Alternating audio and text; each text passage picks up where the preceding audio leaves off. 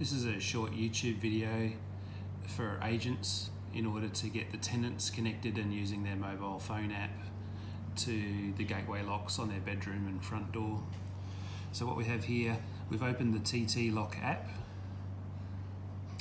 We're now looking at the three door locks that we have.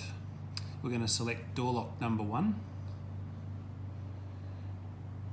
And here is our different um, options.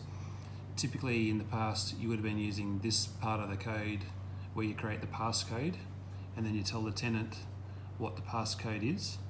So in this video we're going to show you how to let the tenant use the actual app to open their door lock. So in this instance we use the button that says send e-key. So we'll tap e-key. Across the top we've got the different options. So we want to give them a permanent access. Then we'll tap where it says recipient and in this you'll enter the tenant's phone number.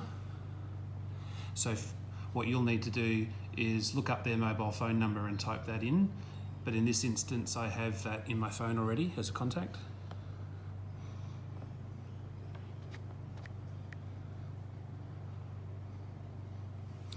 So now I've selected my contact, it's got their mobile phone number, and we've added a name for them and we've left off authorize admin. We don't want the tenant to have admin access.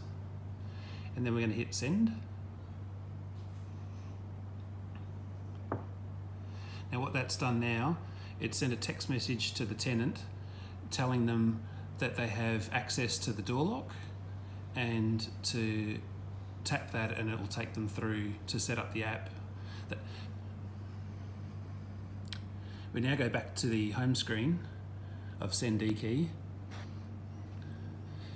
Now next to that you'll see another part of the app called e-keys and this is the admin panel for e-keys that you've given out to tenants.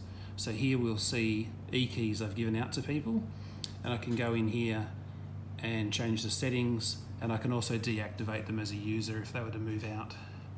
So what this means is the tenant is now able to access the opening and closing the door locks with their phone rather than having to type the numbers in each time.